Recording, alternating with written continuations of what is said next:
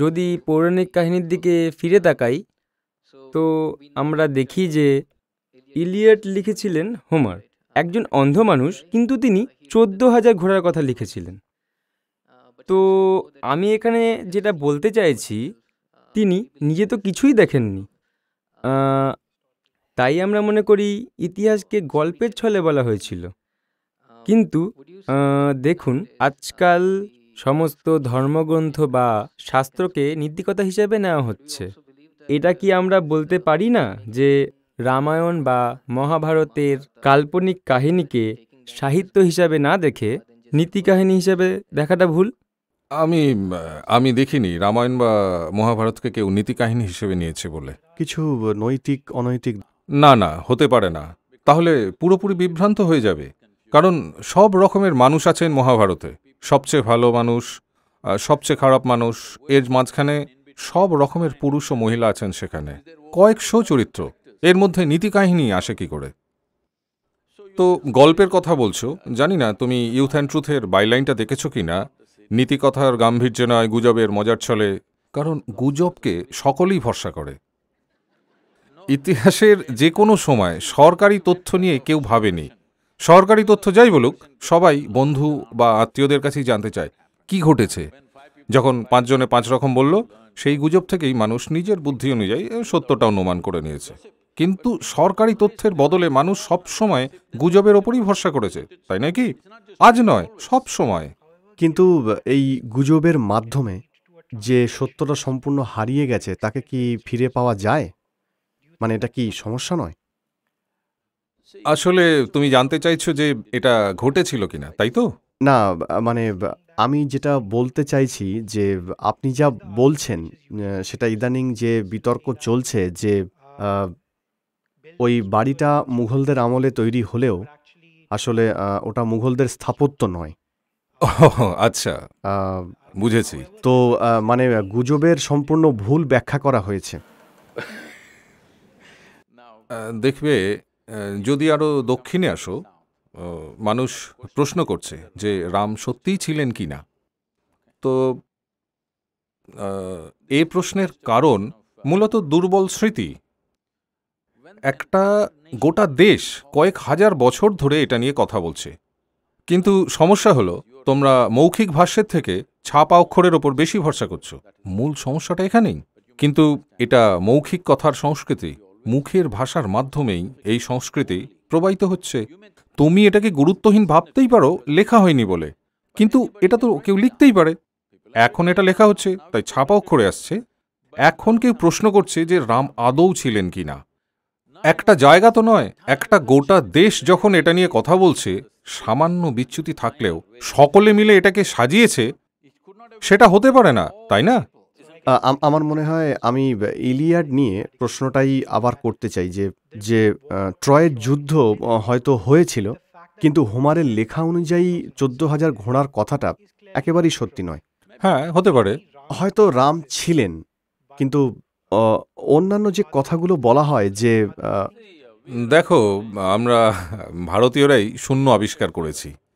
তাই আমরা একটু স্বাধীনতা দেখাই শূন্য ব্যবহারের সময়। অত বাজবিচার করি না। তো দেখো, সেই ছ হাজার সাত হাজার বছর আগে এক লক্ষ মানুষ নাকি দশ হাজার মানুষ যুদ্ধ করেছিল, তাতে খুব একটা তফাত হয় না।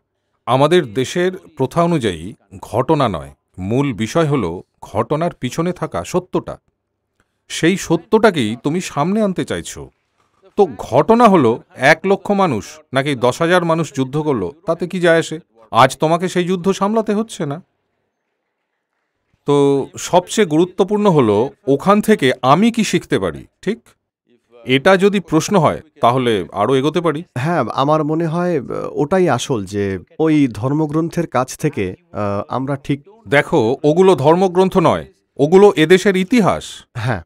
কোনো সাহিত্যের কথা যদি আমরা ভাবি আমরা সেখান থেকে ঠিক কি নিতে পারি? না, সাহিত্য আলাদা, ইতিহাস আলাদা। সাহিত্য কাল্পনিক হতেই পারে, কিন্তু এখানে ইতিহাসকে লৌকিকভাবে লেখা হয়েছে যাতে তোমার কাছে এটা সব সময় প্রাসঙ্গিক হয়। আমার কথা হলো ছ হাজার বছর আগে একটি লোক ছিল কি ছিল না, তাতে আমার কি যায় আসে? যদি না, আমার জীবনে তার কোনো অবদান থাকে, তাই না? কিন্তু ইতিহাস থাকলেও তার ঘটনাগুলো তো আজও স্পষ্ট নয়। দেখো ঠিক এটাই বলতে চাইছি। ঘটনা হলো এরকম। ধরো ছ হাজার বছর আগে রামের যে স্ত্রী ছিল তার নাম সীতা নাও হতে পারে। তাতে আমার কি সমস্যা?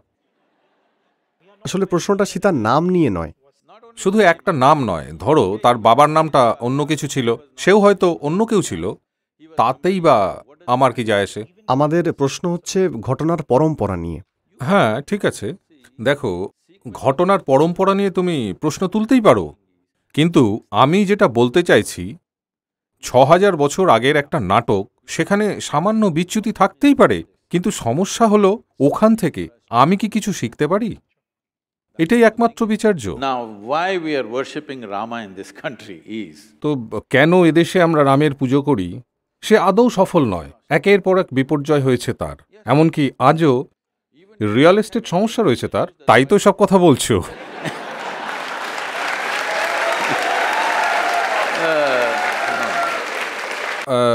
ঘটনা হলো শুধু আজ বলে নয়, তার জীবনের শুরু থেকেই শুধু সমস্যা সমস্যা আর সমস্যার ছড়াছড়ি। সে তো আইনসঙ্গত রাজাই ছিল। সিংহাসনে অভিষেকও হলো সতেরো আঠেরো বছর বয়সে। এক রাজকন্যার সঙ্গে বিয়েও হলো। আর তার এক দু বছরের মধ্যেই ব্যাস, জঙ্গলে যেতে হলো। ওরা কিন্তু জঙ্গলে পিকনিক করতে যায়নি। টেলিভিশন সিরিয়ালে যেরকম দেখানো হয় যে রাম সীতার কাহিনী, না, এটা সেরকম নয়। তাকে রাজ্য থেকে, তার ক্ষমতা থেকে পুরোপুরি নির্বাসিত করা হয়েছিল।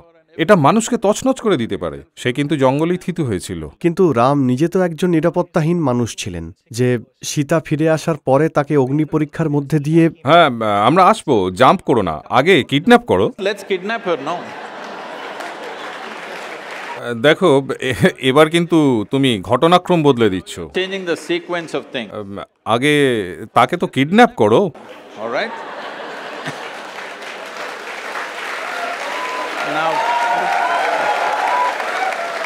তো শ্রীলঙ্কার লোকজন এসে তার স্ত্রীকে কিডন্যাপ করে নিয়ে গেল। যাই হোক না কেন, সে তো একজন রাজা। কেউ একজন তার স্ত্রীকে অপহরণ করে নিয়ে তিন হাজার কিলোমিটার দূরে চলে গেল। তখন কিন্তু কোনো জিপিএস নেই যে শ্রীলঙ্কা কোথায় খুঁজে বার করবে। এরকম একটা সময়ে একজন রাজা হয়ে সে তো আশেপাশেই কোনো সমাধান পেয়েই যেত। অসংখ্য মহিলা ছিল তাকে বিয়ে করার জন্য। সে তো রাজা। কিন্তু সে তার স্ত্রীকেই খুঁজতে গেল। কোনো সৈন্য নেই। সে আর তার ভাই সাধারণ মানুষের মতো। একজন মানুষ তিন হাজার কিলোমিটার হাঁটছে তার স্ত্রীকে খুঁজতে যখন সে জানেই না তার স্ত্রী জীবিত না মৃত তাহলে তার কাছে স্ত্রীর মূল্য আছে বই কি? তাই না? না হলে সে কেন হেঁটে যাবে অত দূর? তো ওখানে কিন্তু সে তামিল সৈন্যবাহিনী তৈরি করেছিল। এটা ভুলো না। তারপর যুদ্ধে কয়েকশো মানুষকে হত্যা করে একটা গোটা শহরকে পুড়িয়ে তার স্ত্রীকে উদ্ধার করে নিয়ে এলো আর আবার থিতু হলো। কিন্তু তার আগে এক বছর সে হিমালয়ে প্রায়শ্চিত্ত করেছিল। তার ভাই বলেছিল, তুমি কি পাগল হয়ে গেছো? যে তোমার স্ত্রীকে অপহরণ করল, তার মৃত্যুতে তুমি প্রায়শ্চিত্ত করছ? তো সে বলল যে তার দশটা মৌলিক গুণ ছিল মানে রাবণের। ওগুলোর মধ্যে ভয়ঙ্কর নটাকে মারার জন্য আমার কোনো অনুতাপ নেই। কিন্তু একই সঙ্গে সে একজন ভক্তও ছিল যাকে আমি হত্যা করেছি। তাই এক বছরের প্রায়শ্চিত্ত সে পেতেই পারে। এটা খুব সহজ কাজ নয়। তারপর তারা একসঙ্গে থাকে তার স্ত্রী সন্তান সম্ভব হয়। কিন্তু তোমাদের বুঝতে হবে যে রাজার স্ত্রীর সন্তান ধারণের অর্থ শুধু একটু শিশুর জন্ম নয়। এটা তার সাম্রাজ্যের উত্তরাধিকারের প্রশ্ন। কোনো সোনোগ্রাম নেই। ফলে অনাগত সন্তান পুত্র না কন্যা তা বোঝার কোনো উপায়ই নেই। তো আবার একটি রাজনৈতিক অবস্থা এমনভাবে তৈরি হলো যে তার স্ত্রীকে ওই অবস্থায় বনবাসে পাঠাতে হলো যেটাকে তুমি নিরাপত্তাহীনতা বললে। না না ঠিক তা নয়। আমরা যদি প্রথম প্রশ্ন থেকেই বলি যে সীতা উদ্ধার হওয়ার পরে সীতাকে অগ্নি পরীক্ষা দিতে হয়েছিল নিজেকে পবিত্র নারী প্রমাণ করার জন্য। কার জন্য? যাতে অন্যরা গ্রহণ করতে পারে কারণ নিজের ভাবমূর্তি নিয়ে রাম সচেতন ছিলেন। নিজের রাজ্যে ফেরার পরে এমনকি একজন সাধারণ ধোপাও সীতার উদ্দেশ্যে বলেছিল যে সে এরকম মহিলাকে তার বাড়িতে স্থান দিত না যে কিনা তার সন্তান বহন করছে না। তো ঠিক এই কারণের জন্যেই রাম সীতাকে আবার বনবাসে পাঠিয়েছিলেন। এটাকেই তুমি নিরাপত্তাহীনতা বলতে চাইছো? মানুষ তাকে ভালোবাসুক রাম শুধু এটাই চাইতেন। না বিষয়টা ঠিকঠাক বুঝতে হবে। এখন এদেশে অনেক কিছু ঘটতে দেখছ। তো আমি জানতে চাই তোমরা কি এদেশের নেতৃত্বে এমন কাউকে চাও যিনি জনগণের স্বার্থকে পরিবার ও ব্যক্তিগত ভালোবাসার ঊর্ধ্বে রাখেন? আমি জানতে চাই?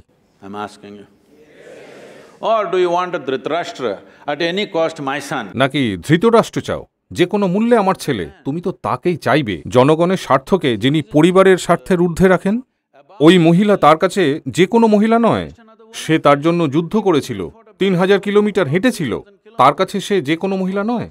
তার জন্যই সে বেঁচেছিল। কিন্তু তবুও তাকে জঙ্গলে ফেরত পাঠিয়েছিল সে গর্ভবতী জেনেও। আর যেটা তার সাম্রাজ্যের ভবিষ্যৎ হতে পারে। এই ধোপার কথা বলছো? এখানেই তোমাদের ভুল, যে সব কিছুকে আক্ষরিক অর্থে নিয়েছো। একজন ধোপা বলছে মানে সাধারণ মানুষের কথাই উঠে আসছে তাতে। রাজার ওপর যারা কোনো ভরসাই করে না। যে কোনো মহিলাকে রানী বলে মানতেই পারে না তারা। কারণ রানী গোটা রাজ্যের মায়ের মতো। যে কোনো মহিলাকে আমরা মা হিসেবে চাই না, এটাই ছিল তাদের বক্তব্য। যেহেতু সে অন্য কোথাও অন্য কোনো ব্যক্তির সঙ্গে ছিল, তখনকার মানুষরা ঠিক এভাবেই কথাগুলো বলতো। এখন রাজা যদি বলে যে, তোমাদের কথা মানব না, আমার স্ত্রী আমার সঙ্গেই থাকবে তাহলে সে যোগ্য রাজা, যোগ্য প্রশাসক নয়। সে তো প্রজাদের স্বার্থকেই এগিয়ে রাখছে তার প্রিয়তমার থেকে। এবং সন্তান সম্ভবা স্ত্রী তার কাছে she's pregnant. কিন্তু তা সত্ত্বেও সে স্ত্রীকে নির্বাসিত করছে জঙ্গলে। এই জন্যেই সে নমস্য। তার কাছে আমরা মাথা নত করি তাই না? হ্যাঁ বলো. না না. ও কিছু বলতে চাইছে। হ্যাঁ। তো বিভিন্ন দায়িত্ব থাকে মানুষের। রাজা হিসেবে একরকম দায়িত্ব কিন্তু ব্যক্তি বা পরিবারের সদস্য হিসেবে অন্যরকম দায়িত্ব থাকে। শুধু তো তার স্ত্রীকেই সে জঙ্গলে নির্বাসিত করল না। এটা তো তাকে শিখণ্ডই করা হলো। এটা তো তাকে আরও একজন মানুষ হিসেবে বা একজন সন্তান, সম্ভবা নারী হিসেবে দেখা হলো না। ও, তুমি তাহলে গৌতম বুদ্ধ, রাম সবারই বিরুদ্ধে। কিন্তু এটাকে সঠিক পরিপ্রেক্ষিতে বুঝতে হবে যে ওই মহিলা তার কাছে গুরুত্বপূর্ণ না হলে সে শ্রীলঙ্কা অবধি পাড়ি দিত না আর যুদ্ধ করে তাকে উদ্ধার করে আনতো না। এটা তো তাহলে তার আত্ম অহংকার কি করে এটা তার আত্ম অহংকার হয়? সে চাইলে কয়েকশো নারীকে পেতেই পারত কিন্তু সে ওগুলো করেছিল কারণ ওই নারী তার কাছে সবচেয়ে গুরুত্বপূর্ণ ছিল। এখন আমরা না না তোমার জানা উচিত সে কি বলেছিল? তোমার জানা উচিত যে তার জীবনে সীতার ভূমিকা কতখানি ছিল? কীভাবে সে লক্ষণের কাছে কেঁদেছিল আর কি বলেছিল? মাঝে মাঝে কাজটা বেশি গুরুত্ব তুমি কীভাবে তার মনের ইচ্ছাটা পড়ে ফেললে? সে নিজে তো কোথাও বলেনি। কোথাও না। মুখে তো আমরা যা খুশি বলে দিতে দেখো তুমি ততটুকুই জানো যতটুকু তুমি পড়েছো। তার জীবন সম্পর্কে তুমি কিচ্ছু জানো না। আমি বা তুমি কেউ না। একদম ঠিক। সুতরাং তুমি যা পড়েছো সেখানে কোথাও বলা নেই যে সে নিরাপত্তাহীন। কোথাও বলা নেই যে সে অহমিকার বসে এগুলো করেছিল। কোথাও এটা বলেনি যে না না সব জায়গায় যা বলা আছে আগে শোনো। কেন তাকে আমরা পুজো করি? তার জীবনে বিপর্যয়ের পর বিপর্যয় এসেছে। কিন্তু তাও সে কখনো রুষ্ট হয়নি ঘৃণা করেনি ক্রুদ্ধ হয়নি। কখনো সে একা হতে চায়নি। তার সমস্ত কর্তব্য সে পালন করে গেছে, যাবতীয় দুঃখ যন্ত্রণাকে নিজের ভেতরে চেপে রেখে সব সময় সবচেয়ে ভালোটা সে করতে চেয়েছে তার প্রজাদের জন্য। এটাকে কি তার আত্ম অহমিকা বলে অভিযোগ করা যায়?